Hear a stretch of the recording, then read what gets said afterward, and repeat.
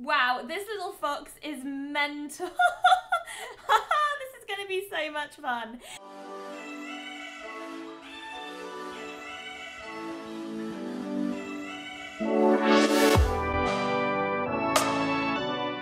Rise and shine dreamers, it is Belle here from Make Belleve and welcome to a new video. Today I am preparing for the Snowy Escape pack by diving straight into Create a Sim and making an Arctic Fox. Because why not? I'm just super excited for this expansion pack and I just felt like I needed to make something as like a little teaser for tomorrow because anyone that knows me knows I'm super excitable and so giddy.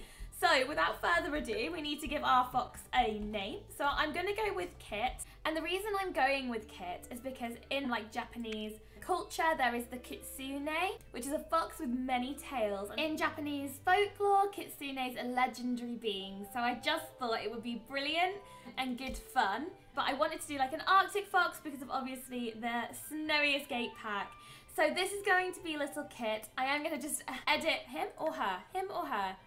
Mm, let's go him. Let's go him. Kit. um, I am going to edit him slightly so he isn't so, well, simple. And this video isn't quite so short.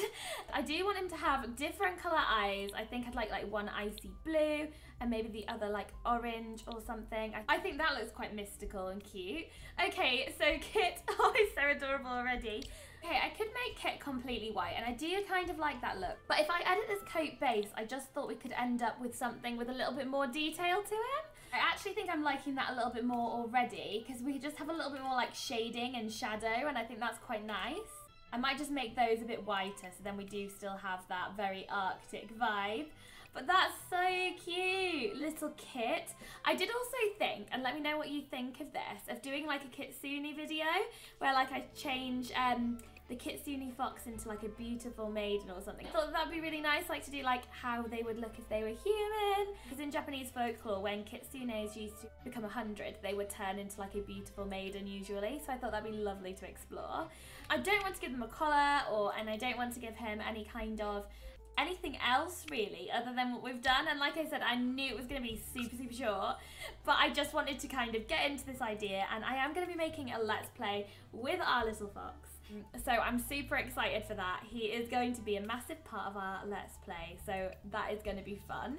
So let's just give him his final traits then little kit. I think the other one I'm going to give um, Kit is adventurous because I think that'll tie in nicely with the Let's Play and the adventurous things that we're going to do in it. So yes, this is Kit, you guys. Again, like I said, I had no, I'm very aware that I haven't done much, but I just, I cannot wait for this. Wow, this little fox is mental. this is going to be so much fun.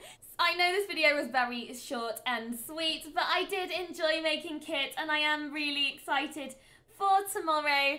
If you thought it went by too quick, by all means check out one of my others. If you did enjoy this video, please hit the thumbs up and subscribe. It means so much to me. I really can't wait to get to 100. I will be so excited. Hope you're having a lovely day where you are. Sweet dreams.